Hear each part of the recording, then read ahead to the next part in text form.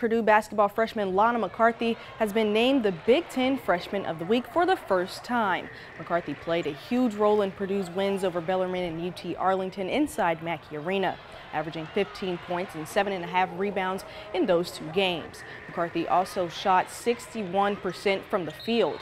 This week, the team will head to Fort Myers, Florida for the Elevance Health Tournament. Their first game will be played on Thursday against Middle Tennessee at 4.30 p.m.